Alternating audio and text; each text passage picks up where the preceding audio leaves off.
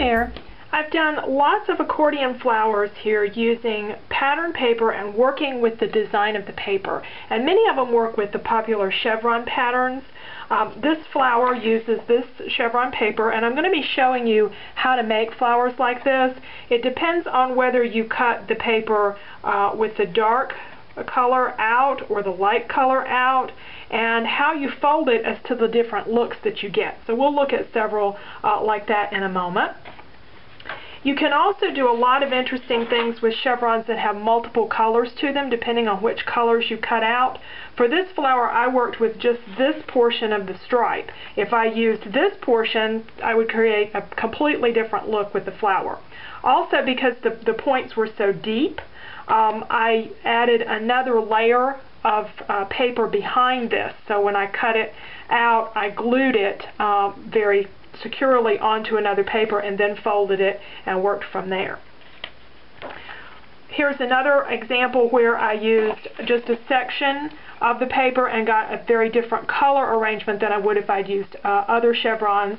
The pinwheel kind of center for this flower is covered in another video that I have on accordion flowers and I'll link that uh, to this video and also on my blog. another example, and you'll see some more of this paper later on. You can also do some interesting things that are not chevron papers, but that are other uh, different types of pattern paper. This paper, for example, has a really pretty chevron on the back that we'll be working with, but I really like this um, uh, argyle design as well, and so I cut um, a strip and cut along the argyle design to create this flower, and it came out to be one of my favorites uh, for my project. If you have uh, punches, you can use an edge punch and score in between each of the scallops in this case to create this design. Washi tape works on your accordion flowers too. For this uh, flower, I used this paper and I edged it with some washi tape. Just wrapped some washi tape around the edge before I did my folding. And I didn't worry about the design where I folded since this had a very, uh, didn't have a, a, symmetrical design to it. But I still got kind of an interesting two-tone effect uh, to the flower. This is another one of my favorites. I used this paper and I worked with the pink and red um, flowers and I just cut along the outside edge of those flowers and it created a point and then a lot of space between. So again I put a second paper behind it uh, to give it a little bit more uh, security and um, to hold a little bit better as I was uh, creating the flower. But with the way I scored it I got a pink flower, a green flower, pink flower and so forth. And stripe papers also make great accordion flowers. For this one I worked with one of the blue stripes out, but you would get a completely different effect if you did the other stripes. And I didn't do any fancy cutting, I just folded this one up. Um, probably it looks like about half inch increments is where I scored it, folded it up, and got an interesting flower just working out of the stripe paper. So now let's take a look at how uh, we can create some of these flowers using the chevron papers. So let's make an accordion flower using a chevron paper to see how the different ways you cut it create different effects. I'm going to be working with this green and white chevron from uh, My Mind's Eye and I'm going to cut really close to the green edge.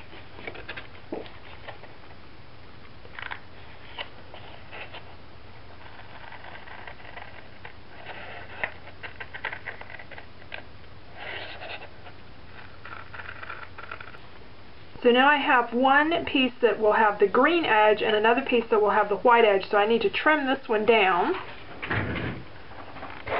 Without any extra cutting, I have uh, two pieces for uh, two different flowers. And let's look at how to score them.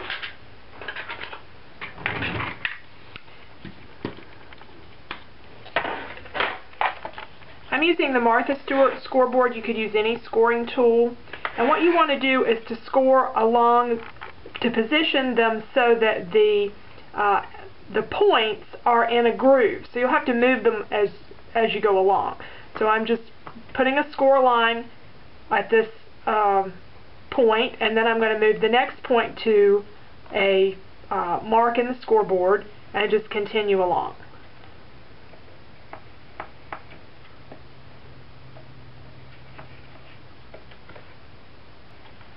And I'm going ahead and doing this with both pieces.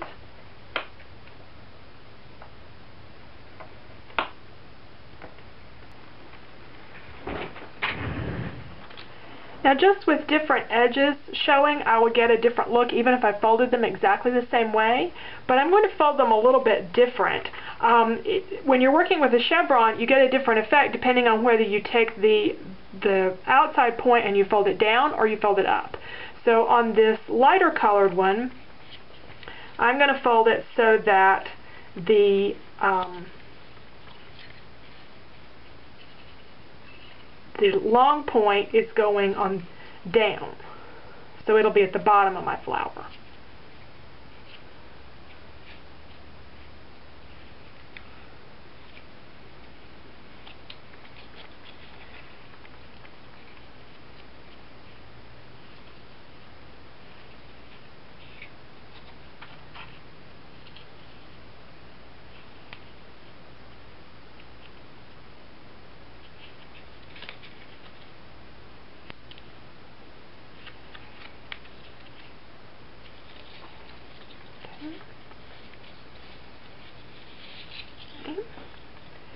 And for the one with the green edging, I'm going to fold the the point, so the outside point so it comes up.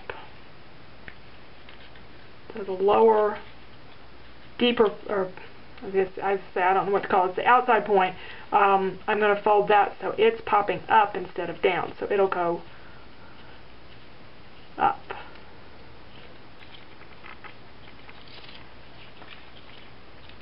Okay, and when I get them folded, what I want to do is glue them uh, around in a circle. So I can decide, figure out where the best way to trim this is going to be. End up trimming that little end off.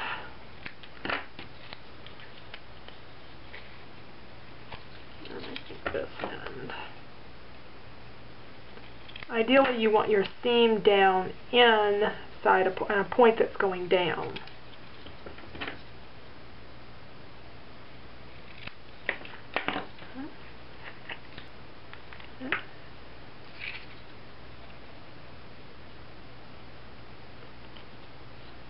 And I'll just set that aside to dry and I'm going to do the other one.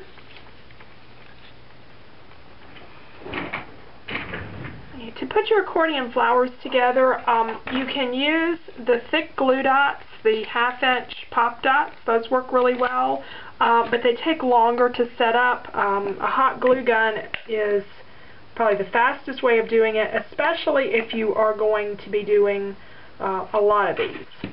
It's the most cost effective. So you'll just press your flower into a circle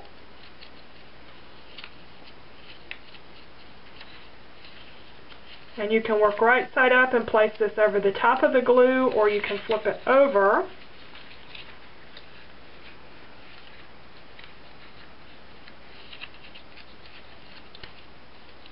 Hold everything together and then place your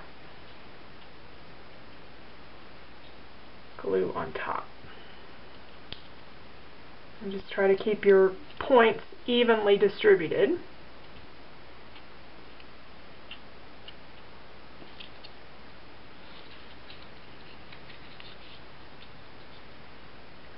Kind of hold that together. And then um, you can add a little glue to the center and put uh, something over the middle. I think I'm actually going to use a little bit more glue and use a brad for this one. As thick as this is, I don't even really have to open the brad. Just press it down in there. Okay, let's do the white one, and you can already see the difference. See a big difference whether the white's out or the green's out and whether the points go down or the points go up. So we have two very different looks from the same paper, whether we put the green on the outside or the white on the outside, whether we put the points going down or the points going up.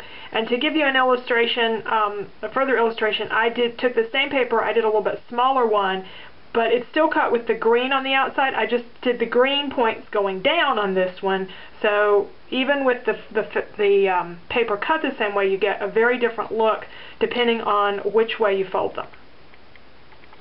And then there's one other way you can fold chevron that, that changes the look altogether. Now with this little mini chevron, the first one that I did, I did it the way we, we were doing the others. I cut the, the strip and cut along the design and then I did a score line at both the at all of the points, whether the points went up or the points went down, and that created this uh, flower. Now I'm going to take one and show you what it looks like if you only score at the, the high point. Or you could score only at the low point. You get a different effect. It gets, creates a thicker flower, of course, but it also creates a different look.